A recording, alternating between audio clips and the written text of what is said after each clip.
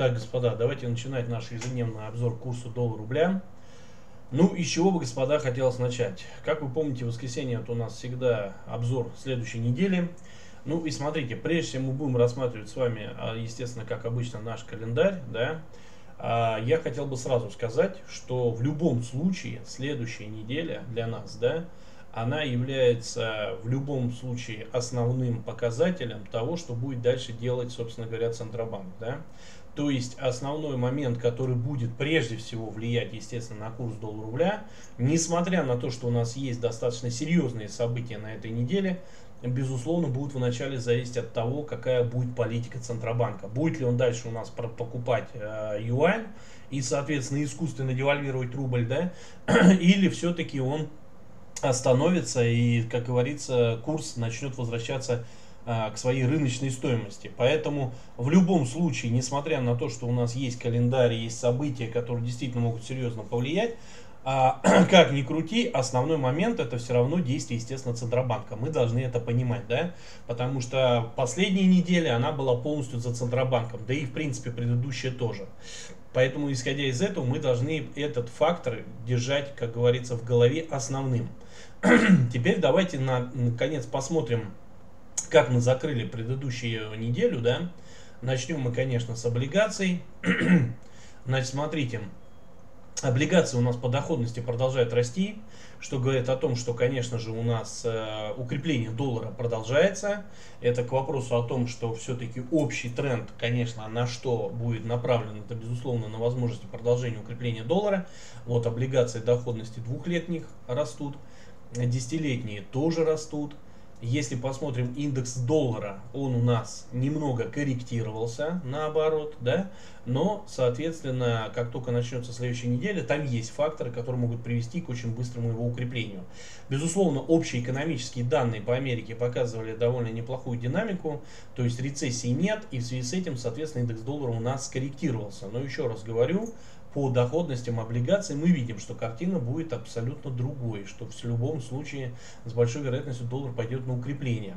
Так, ну и, господа, давайте вспомним про нефть, да, это будет тоже основным фактором у нас на этой неделе. А также напомню, те, кто смотрит впервые, так сказать, наш канал, да, это говорит нам прежде всего о чем, что борьба между ценами на нефть и долларом, она сейчас является основной, поэтому американцы, пытаясь сдерживать цены на нефть, не давая, так сказать, разгон инфляции, потому что нефть, естественно, влияет на разгон инфляции, они этого хотят не допускать, и, собственно говоря, также, соответственно, не давать э, набирать, как говорится, доходность э, в российский бюджет, в том числе для поддержки СВО. Поэтому основная борьба, и вот мы видим на протяжении вот этого всего времени, да, начиная с мая, она, в принципе, вот как раз результат. Это вот эти вот прайс-кэпы были введены по потолкам цен на нефть, да, а потом всевозможные пугания по поводу рецессий, банковских кризисов и так далее. Все это было направлено на одну задачу, сдерживать цены на нефть, не давать им расти, и, соответственно, тем самым э, использовать против него, против э, нефти доллар, да, и поэтому, как только мы понимаем, что нефть начинает расти, мы понимаем, что американцы будут ее подавлять любыми способами, в том числе по укреплению доллара, и, соответственно, это понятное дело, что это укрепление против российского рубля, поэтому мы как бы за этим постоянно следим. На этом э, неделе как бы будут тоже, естественно, одни из событий, связанные с нефтью. Э, безусловно, поэтому мы их будем отслеживать. Как мы помним, на прошлой неделе данные по запасам вышли очень хорошие. И вот мы видим, что нефть в итоге вернулась до 75, пыталась подняться на 76, там доллар ее подавил. Но как бы задача вырваться за этот 76, 77,5, да, вот если вот здесь мы посмотрим, вот он у нас 76,5, это середина квартального коридора, годовой вообще находится на 84,50 середина, да, а нижняя граница от 81 до 83,50. Естественно, нефть ставит задачу, в том числе ОПЕК, а, выйти за 78 и вернуться в район 82-84. Чего не дает делать, естественно, это Америка. А делает она это абсолютно нерыночными способами, всевозможными манипуляциями, постоянными словесными интервенциями, пугалками, рецессией, всевозможных там возможных пандемий и прочее. Ну, в общем, короче говоря, процесс это не рыночный. И вот, собственно говоря, ОПЕК э, все делает для того, чтобы вернуться, соответственно, к рыночным ценам. Поэтому мы за этим, господа, всегда постоянно наблюдаем. Ну и теперь давайте э, вернемся к календарю. Так как все-таки у нас на прошлой неделе все, что было, вы фактически можете посмотреть э, выпуски за пятницу. Основной еще раз фактор, который могу выделить на прошлой неделе, безусловно, он у нас, конечно, был максимально проявился. Это закупки, э, собственно говоря, юаней э, Центробанком Российской Федерации или там, возможно, крупными какими-то компаниями, которые, может быть, или там бизнес свой выводили и так далее с российской, как говорится, российского рынка. Вот. Но в любом случае мы видели, что шла абсолютно искусственная девальвация.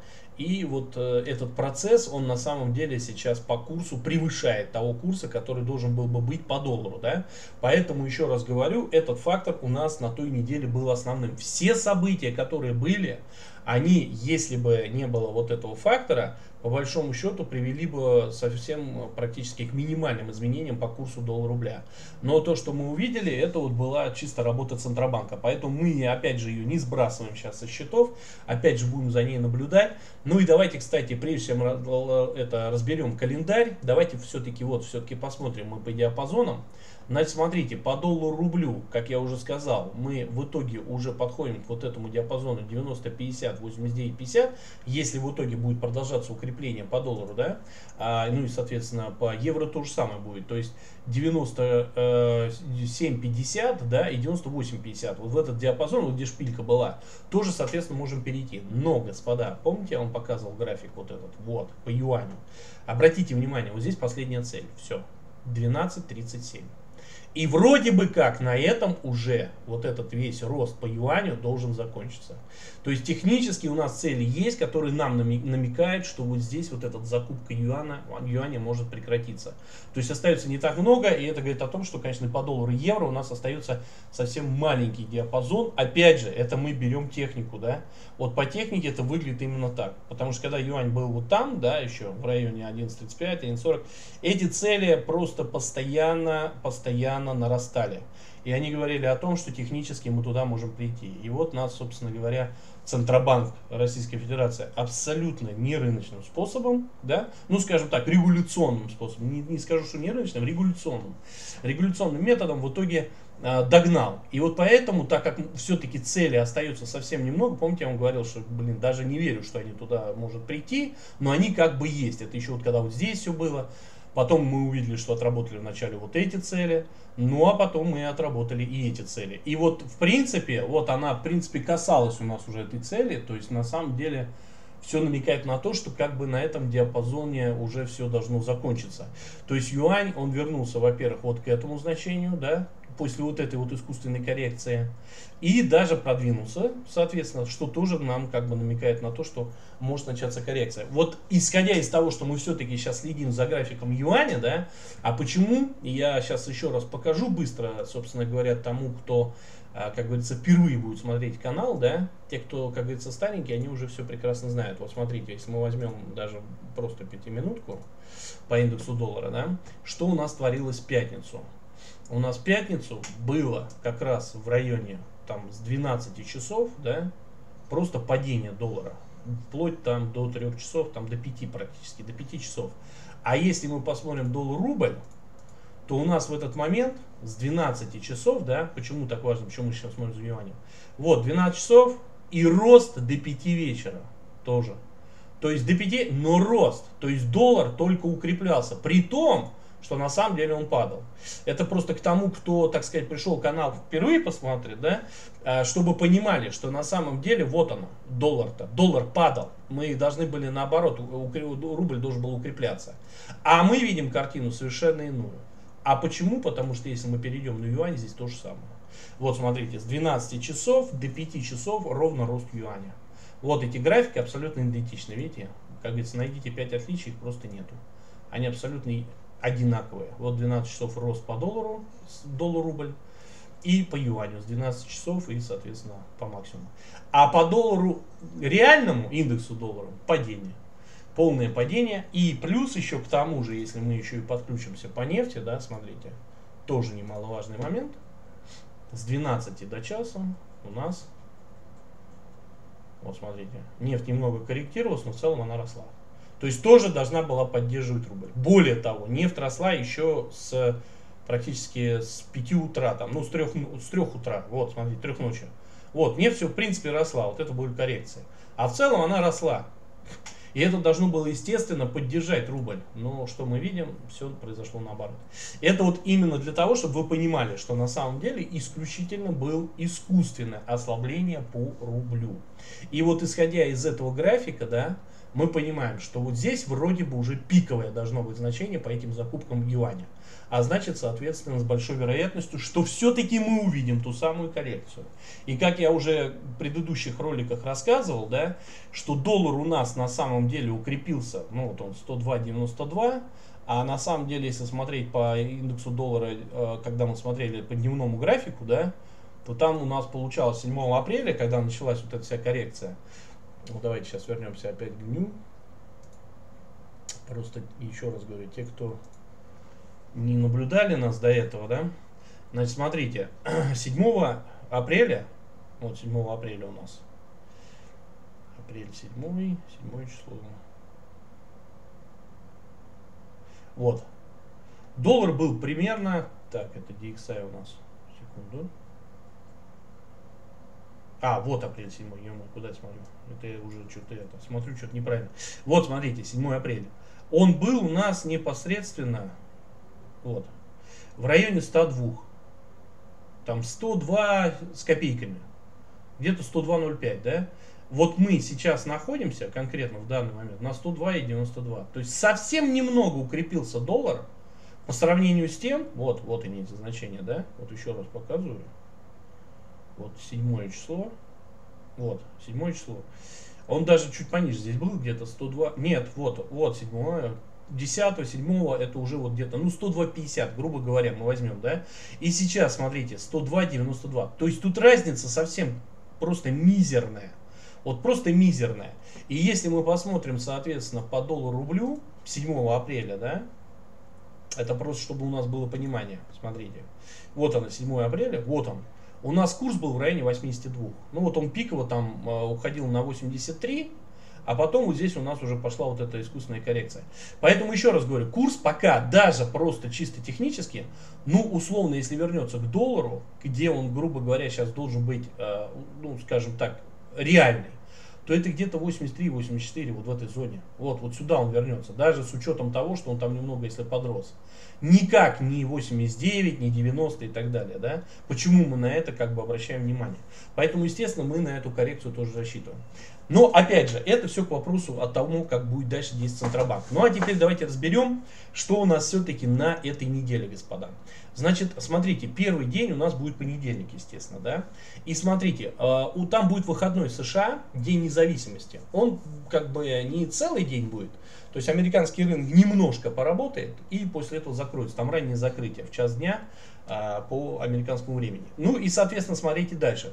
Индекс деловой активности в производственном секторе в Китае. Это очень важно, потому что здесь мы будем наблюдать, за сколько, насколько, так сказать, у Китая а, все-таки экономика восстанавливается и восстанавливается. Это, безусловно, может поддержать цены на нефть. Да? И мы понимаем, что если цены на нефть пойдут дальше вверх, то, естественно, индекс доллара может, э, соответственно, начать укрепляться опять. Да? Дальше. Индекс производственной активности в Российской Федерации. вот это к вопросу экономики Российской Федерации. Здесь, соответственно, здесь мы будем ловить сигналы. А Все-таки, соответственно, если производственная активность растет, значит с большой вероятностью будет разгоняться инфляция. Ну и внутренняя экономика довольно крепкая. А значит вероятность того, что а, Центробанк Российской Федерации может поднимать ставки, а, тоже увеличивается. А мы помним, да, что в предыдущие дни, просто сейчас я в телеграм-канале вам особо ничего там показывать не буду, там, в принципе, никаких особых новостей не было, а вот, и, собственно говоря, э, как раз была информация о том, что нам, я вам в пятницу, по-моему, показывал, да, по поводу того, что все-таки есть вероятность повышения ставки, она растет, э, как бы стали об этом пугать все, и как бы Центробанк, и там, э, как говорится, этот Минэкономразвитие и так далее. Поэтому на самом деле за этим вот мы будем следить, за вот этими данными, которые нам могут намекнуть также на повышение ставки, да, и также борьба с инфляцией, потому что если, соответственно, у нас э, индекс производственной активности будет расти, значит, вероятность инфляции роста тоже будет увеличиваться.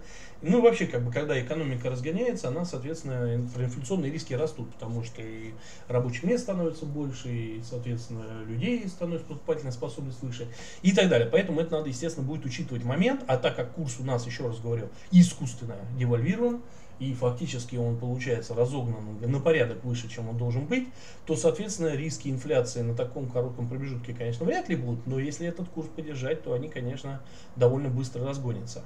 Так, дальше смотрим. А, значит, индекс деловой активности в производственном секторе США. Это к вопросу от американской экономики, да, за которой будем также следить. Там уже фактически будет ситуация связана с долларом. Он там на этом может либо укрепляться, либо ослабляться. Но еще раз говорю, по доллару сейчас, господа, тоже картина будет достаточно а, с точки зрения вот этих данных, да, она достаточно сглаженной будет. Потому что, смотрите, вот, кстати, если мы а, посмотрели все, а американский рынок мы с вами не посмотрели. Так, сейчас один момент. Вот здесь у нас как раз US 500. Он у нас пошел вверх. Он у нас пошел вверх. Вот смотрите, мы пробивали в итоге попытку за 4460. Потому что очень хорошие экономические данные, я вас тогда предупреждал, что как только выйдет индекс цен потребителя, если он будет хороший, мы сразу пробьем 4440 и пойдем в районе 400-450. Вот здесь так оно в принципе и произошло.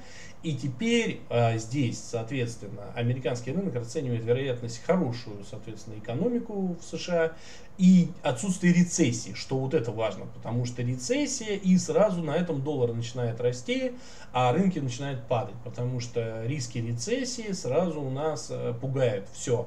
И сырьевой рынок, там нефть начинает падать, в принципе, Америка этим постоянно сейчас и пользовалась. Все вот эти пугалки были, они связаны были постоянно с разговорами о рецессии. И вот сейчас мы видим, рецессии нет, рынок растет. И, соответственно, так как вот этих данных, которые вышли по ВВП, да, а, по индексу цен потребителей, который показал снижение, ВВП рост, то есть там, в принципе, экономика устойчива, да, это, естественно, говорит о том, что, соответственно, а, и тот же доллар, и, в принципе, рынки, они как бы немножко, ну, скажем, на эти данные, вот тот же американский рынок, он как бы реагирует как на коррекцию. То есть совсем чуть-чуть там, допустим, может просесть, а потом тут же продолжает расти. Поэтому и доллар здесь, да, то есть он укрепляется частично, там чуть-чуть укрепится, потом опять, э, как говорится, ослабнет. Поэтому вот эти данные, они как бы для нас не столь важны, да, они как бы будут приводить к определенным колебаниям, но они абсолютно несущественны. И также надо учитывать, да, что еще раз говорю, если Центробанк Российской Федерации в этот момент будет проводить дальнейшие вот эти ослабления, да, то, соответственно, мы вот этих колебаний даже и не увидим, потому что, понятное дело, что у нас уже курс завышен, поэтому этот момент надо тоже учитывать. Теперь смотрите дальше. Значит, индекс деловой активности сказал. Индекс цен в производственном секторе АТСМ США. Это важно. Вот индекс цен в производственном секторе это фактически данные по инфляции, которые опережающие, потому что если в производстве будут, э, соответственно, расти инфляция, то есть цены, да, соответственно, и на потребителя они пойдут на потребительскую инфляцию. Поэтому за этим будут следить однозначно. Вот там вот, кстати, могут быть э, колебания уже такие более серьезные. Дальше смотрите, господа, понедельник у нас заканчивается, наступает вторник. Вторник вообще пустой. Там просто выходной США, День независимости, и там фактически событий экономических нет. Там могут быть какие-то такие спекулятивные движения туда-сюда, но серьезного ничего не будет. Поэтому имейте в виду, вторник будет абсолютно день такой достаточно сглаженный. Дальше смотрим. Наступает среда. Индекс деловой активности в секторе услуг PMI от Китая. Опять к вопросу о том, насколько у Китая довольно экономика сильная или нет, и, соответственно, э, восстанавливается она или нет. Если она, соответственно, покажет хороший показатель, то это говорит о том, что, соответственно, и спрос на нефть может расти, так как экономика растет в Китае. И, значит, соответственно, цены на нефть тоже могут пойти вверх. А за ними, соответственно, начнет давить доллар. Поэтому это надо тоже иметь в виду. Дальше. Заседание Европейского центрального банка по вопросам немонетарной политики. И тут больше затронет евро, да, ну и в целом, в принципе, все вот эти заседания центральных банков Европы, США, они все одним паровозом идут, поэтому, в принципе, надо момент этот учитывать, что сигналы оттуда а, будут, соответственно, давать определенную, скажем так, намек на то, что и будет делать тот же ФРС, да, потому что они все идут в одном паровозе, у них вся абсолютно одна и та же практически э, ситуация финансовая совместная. Значит, смотрите дальше. Валютные интервенции России. Вот тут интересно. Тут посмотрим на самом деле вот как раз, где у нас там Центробанк и сколько проводил, насколько проводил вот эти интервенции. А, пока мы видим, что сейчас происходит наоборот закупки. Поэтому посмотрим. А, продажи были у нас вот здесь. Вот здесь были продажи, вот здесь сдерживали курс. А вот здесь уже, как говорится, не то, что не сдерживали, здесь закупали. Поэтому это надо момент учитывать. И вот дальше, господа, смотрите, одно из самых важных событий на этой неделе это публикация протокола ФРС. Это фактически, можно сказать, преддверие вопросов, связанных с отставкой. То есть вот на протоколах ФРС как раз там может быть либо сильное укрепление доллара, либо ослабление. Если, допустим, протоколы покажут, что, собственно говоря, ФРС ожидает повышения ставок, на этом доллар резко может укрепиться.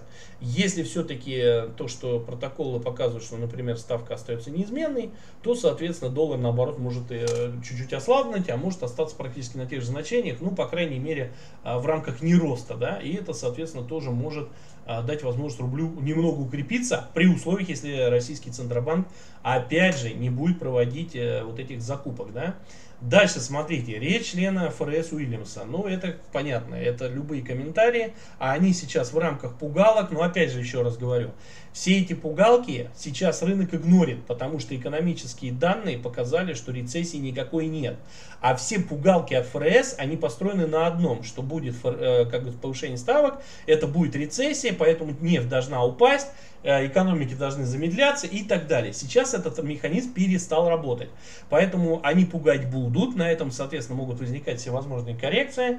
Но до тех пор, пока реальные факты не покажут, что начинается э, рецессия, рынок реагировать не будет. И, соответственно, с вытекающими отсюда по валюте то же самое.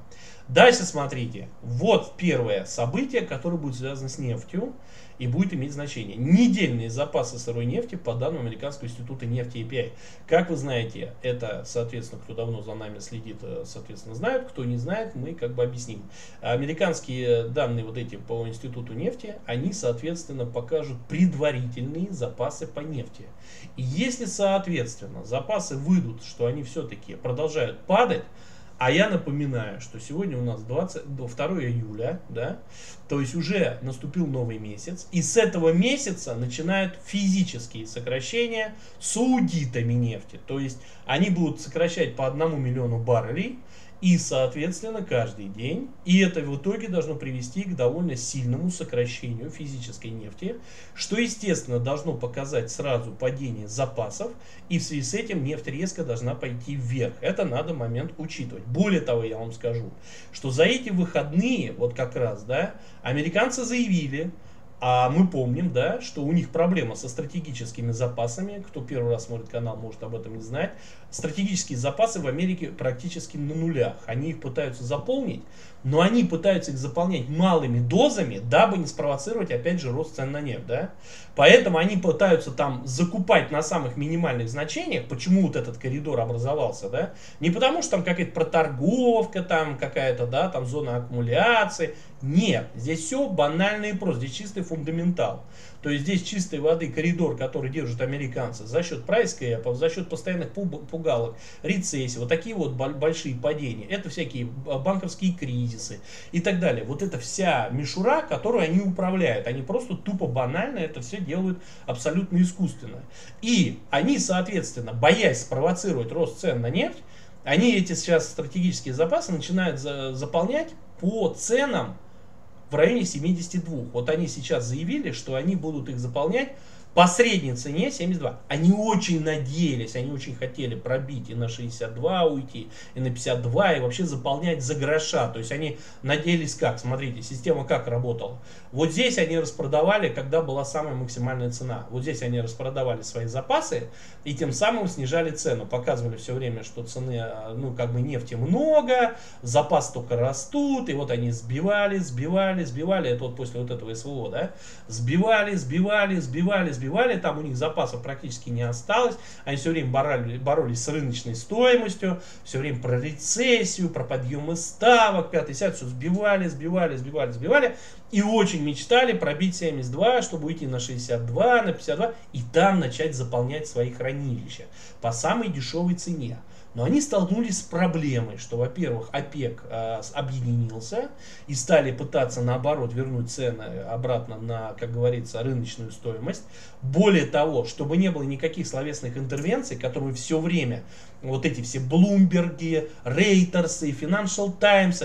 Вы знаете, мне понравилась одна фраза, на самом деле, я в РБК как-то ее услышал случайно, да, там один э, товарищ, э, Бабичев, Бабичев, да, он сказал, одна Блумберг сказала, вот, э, то есть про Блумберг, да, вот такая вот одна бабка сказала, а вот Блумберг примерно так и работает. Вот тут я полностью с ним согласен. Поэтому вот эти все издания, Financial Times, там э, всевозможные Блумберги, Wall Street Journal, вот эта вся шляпная э, СМИ, как говорится, которая система в Америке существует, да, она работает сейчас исключительно не на демократов, исключительно. Поэтому, когда ОПЕК вот последний раз встречались, да, они просто запретили, они сняли их с аккредитации, да, не дали им аккредитацию, для того, чтобы освещали они конкретно события, связанные с договоренностями ОПЕК. А почему? Потому что там сплошная манипуляция. Они оттуда начинают кидать якобы какие-то слухи, которые абсолютно фуфловые, придуманные. Это однозначно уже проверяли, вот можете посмотреть у нас в телеграм-канале, там вверху, если дальше туда смотреть, я вам показывал пример, как манипулируют э, такими данными, да, когда просто с, с утра заявляют о том, что на самом деле запасы выросли, подходит вечер и выясняется, что запасы просто улетели в минус, да еще настолько, но рынок-то на это реагировал. И вот эта манипуляция, она как раз постоянно происходит. Поэтому э, на данную встречу их вообще сняли опять с аккредитации. Опять их не дают им прийти, не, чтобы они не участвовали вообще в каких-либо там попытках э, освещать это событие, когда будет встреча ОПЕК. Вот. И, соответственно, э, чтобы не создавали вот эти манипуляции, которые они все время создают словесные.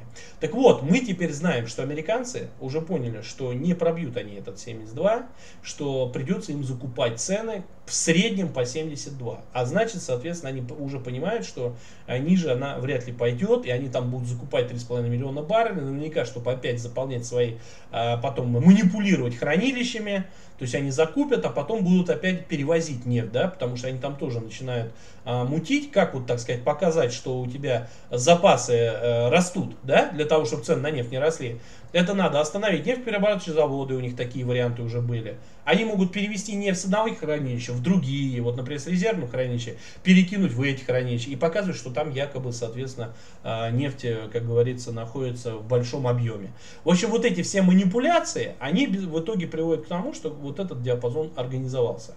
И вот исходя из вот этих запасов, которые у нас выйдут, господа, как раз вот, э, которые данные Американского института нефти, мы как раз и увидим, опять же, да, но надо четко понимать, американцы мутят с этими запасами.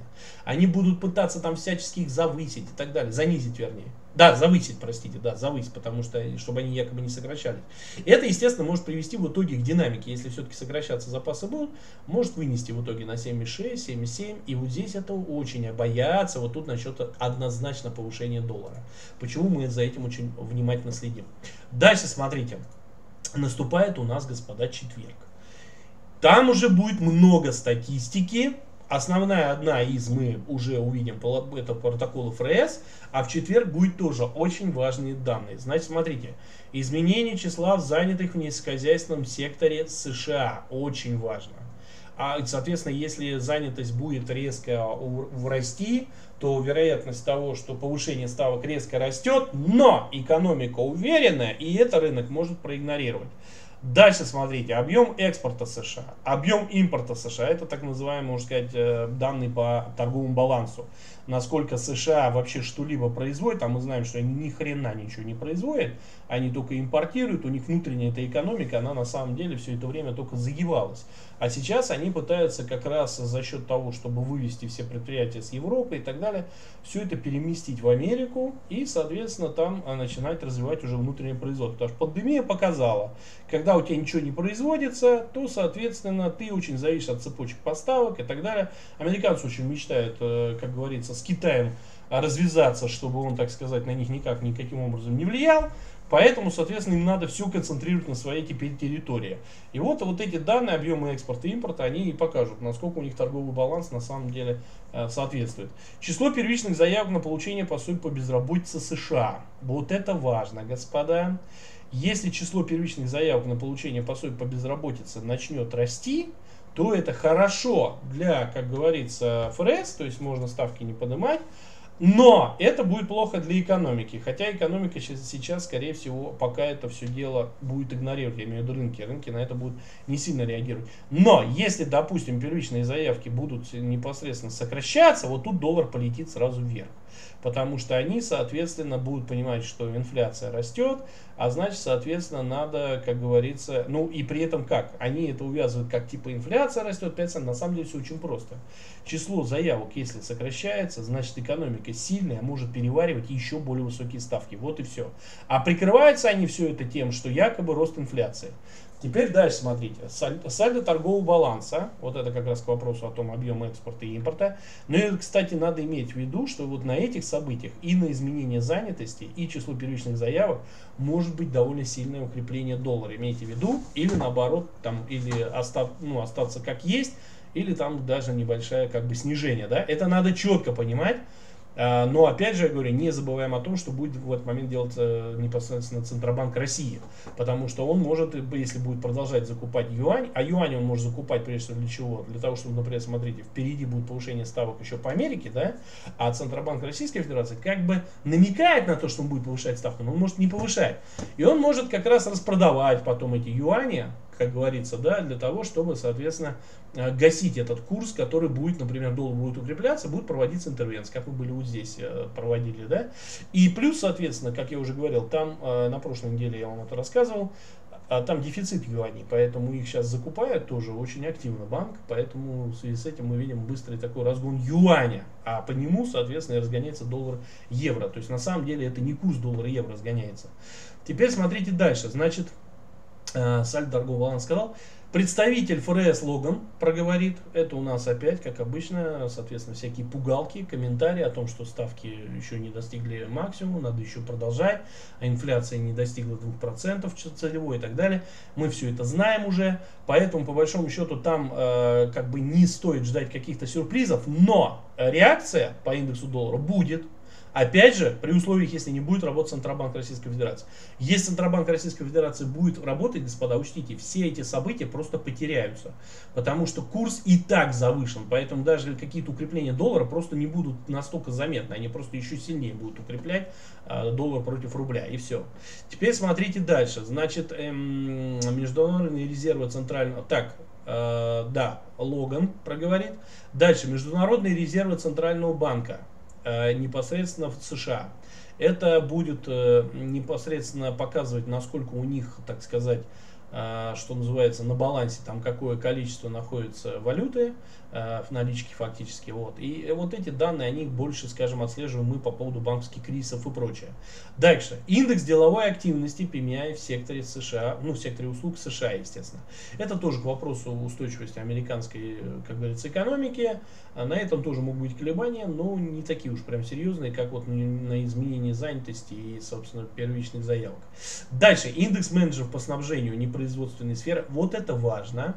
Вот это важно. Это как раз вопрос целого собственно говоря, цепочек поставок. Это тоже к вопросу о том, что насколько всех товаров будет достаточно. И индекс менеджера по снабжению, он такой тоже опережающий. Он показывает фактически э, те, скажем, цены, по которым э, и в том числе снабжаются именно сами производители, да, но и, собственно, насколько у них там хватает товаров на, на складах и так далее. То есть это очень важная, на самом деле, опережающая такая статистика, за которой однозначно надо будет смотреть, и она однозначно может э, повлиять. И вот, господа, очень важный число открытых вакансий на рынке труда Джолс. Вот если число открытых вакансий будет увеличиваться, там доллар прям полетит вверх. Если число открытых вакансий будет сокращаться, то там, скорее всего, сильной динамики не будет. Ну и тут как бы и экономика, ну как бы воспринимает это средне, как бы там нейтрально, скажем так. То есть э, это не сильно влияет на то, что как-то экономика замедляется, то есть это никакие признаки рецессии нет. Но для того, чтобы не повышать ставки, лучше, конечно, чтобы вакансии не э, увеличивались, да, а, а наоборот, они чтобы сокращались. Дальше, запасы сырой нефти США. Вот это как раз второе наше событие, которые мы будем ждать, и это уже официальные запасы. Если на этих запасах еще может рынок, так как говорится, поддернуться, то официальные выйдут у нас уже непосредственно в четверг. И вот здесь начнется уже по-настоящему динамика по нефти. Теперь смотрите дальше. Наступает у нас, господа, пятница. Там выходят данные, средняя почасовая заработная плата в США. О, это очень важно, на это будут обращать внимание. Это, кстати, тоже признаки определенные, скажем так, и про инфляцию. Если за почасовая зарплата растет, значит инфляция может уже разгоняться, тоже может ставки подниматься. Изменение числа занятых в низкохозяйственном секторе. Это то же самое, как вот то, что мы видели в четверг, да, в пятницу они будут выходить уже за июнь там, да. И уровень безработицы в США. Вот эти все данные, они как бы тоже у нас показывают, ситуацию устойчивости экономики США. Поэтому вот этот, господа, момент нам надо учитывать. Здесь, соответственно, могут отреагировать и доллар, и плюс, соответственно, как говорится, рынки, да, это надо тоже момент как бы постоянно тоже держать в фокусе. Но основные все равно, это у нас выйдет среду протоколы ФРС и в четверг, прежде всего, это вакансии, да, ну и занятости и тому прочее. Поэтому вот эти основные дни, среда, четверг, готовимся к сильной волатильности. А в целом, в принципе, да, у нас как бы э, основные, остальные дни э, больше, скажем так, в рамках э, неких сигналов и поддержек. Так, ну теперь давайте вернемся непосредственно все-таки к прогнозам, как я уже сказал, да.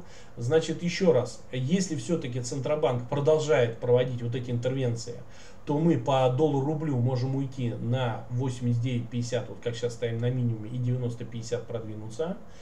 По евро здесь, соответственно, на 97.50 и удерживать 96.50. Ну или даже можем, наверное, все-таки да, 97.50, 96.50.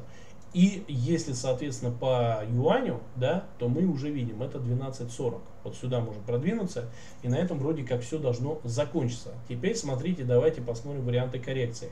Как я уже говорил, если отталкиваться от того, что все-таки курс у нас э, доллара фактически соответствует сейчас где-то порядка 85-84, вот в этой зоне, да, то, соответственно, коррекцию, как я уже говорил, 84.50 я жду уровень и 85.50. Это ближайшее.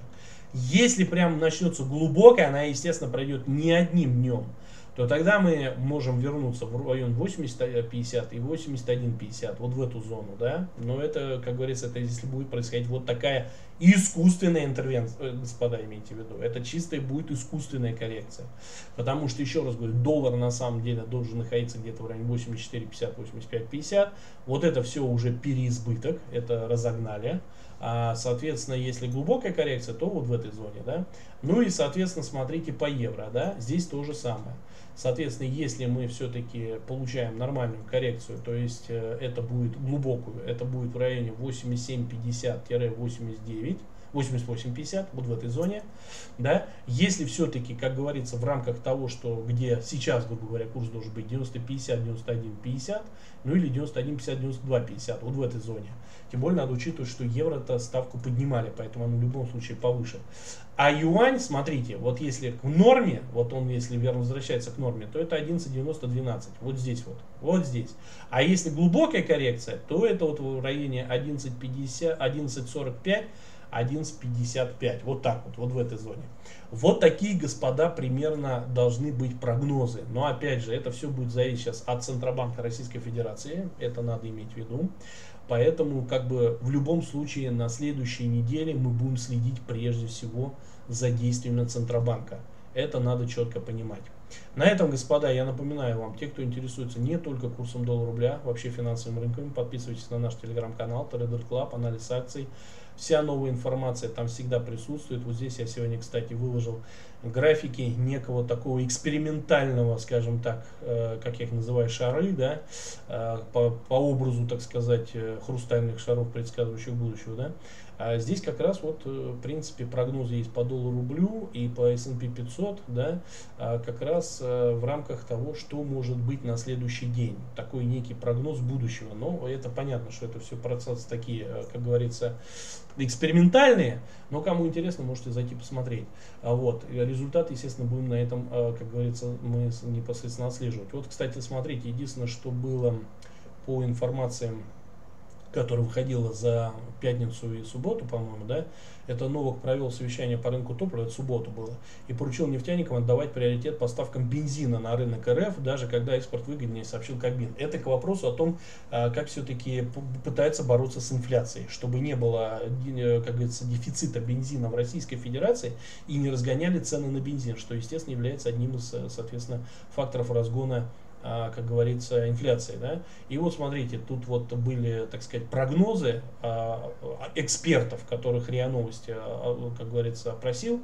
Вот курс доллара в июле снизится на 1,81 рубль до 87-74. Евро на 2 рубля до 95.72, а юань упадет на 12 копеек, 12.20. Рубля ожидает огромный РИА, как говорится, новость. Ну, в общем, вот такая вот история, да. Так что, если захотите, можете посмотреть, там много у нас информации. Также на, напоминаю, что, естественно, будем обзор делать каждую неделю, э, каждый день. Смотрите, да, события будем разбирать, естественно, которые будут выходить каждый день и, соответственно, смотреть, как они повлияют. Сейчас, в данный момент, как я уже неоднократно говорил, курс у нас плавающий, поэтому почему и надо следить за ним каждый день, потому что любые события могут приводить там либо коротким движением, либо довольно длинным и большим, сильным изменениям, поэтому это надо иметь в виду. Ну и также, как я уже сказал, тут будет прежде всего, конечно, в приоритете ситуация действия Центробанка. Вы должны понимать, что это все пока искусственно, как и было вот здесь. Поэтому прежде всего смотрим за ним, какой у него, как говорится, замысел. А, значит, э, даже по трендовому коридору мы видим, что все равно коррекция, она как бы должна быть, слишком уж э, разогнали. Ну и я уже, как сказал, соотношение, где должен быть доллар по отношению к тому, вот, где была, вот, собственно, вот эта история у нас, она все-таки находится гораздо ниже, даже если соответствовать тому, где у нас юань. Вот, поэтому, в принципе, коррекцию ждем. А, соответственно, напоминаю, что в пятницу будем делать э, подведение всех итогов за всю неделю каждого вот этого дня, да, рассматривать. Ну а в воскресенье, как вот и сегодня, да, будем делать обзор следующей недели. А, также создаем весь новый календарь, отслеживаем все события. Притом, обратите внимание, в календарях находятся только самые важные события. А так календари очень огромные, там много чего есть, но мы выделяем ровно то, что действительно может повлиять и на курс доллара-рубля, и на рынке. Поэтому как бы вот это самая основная подборка.